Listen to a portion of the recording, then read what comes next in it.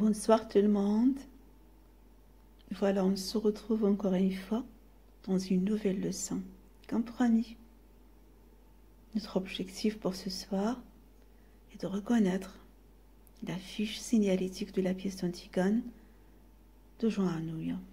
Alors, comme vous voyez devant vos yeux, le texte de référence est publié par les éditions de la Table Ronde en 1946. La pièce est composée sous sa forme définitive en 1942.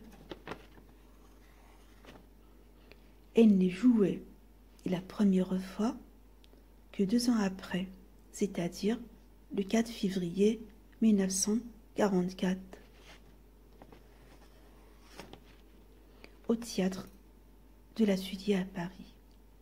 Après une interruption en août 1944, dû au combat pour la libération de Paris, Paris qui était sous la botte nazie, les représentations reprennent normalement et la pièce est appréciée de plus en plus et sera ensuite à nouveau représentée à Paris en 1947, puis en 1949 et en 1950.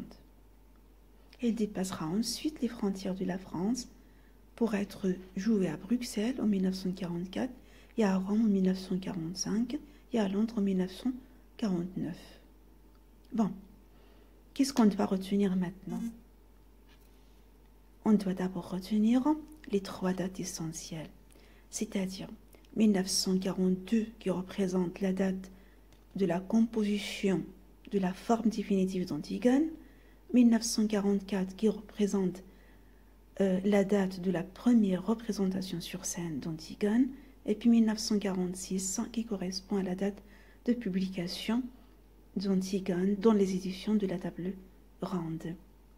Maintenant, si vous voulez comparer Antigone de Joan avec la boîte à merveilles, vous pouvez dire que dans la boîte à merveilles, on retient deux chiffres, sinon deux dates essentielles, à savoir 1952, qui correspond à la date de l'écriture de l'œuvre, et puis 1954, qui correspond à la date de la publication de l'œuvre, de l'édition de l'œuvre dans les éditions Seuil. Voilà ce c'est tout ce qu'on peut dire à propos de la fiche signalétique de la pièce d'Antigone. On passera donc à une autre leçon avec un autre objectif. Merci pour votre attention et au revoir.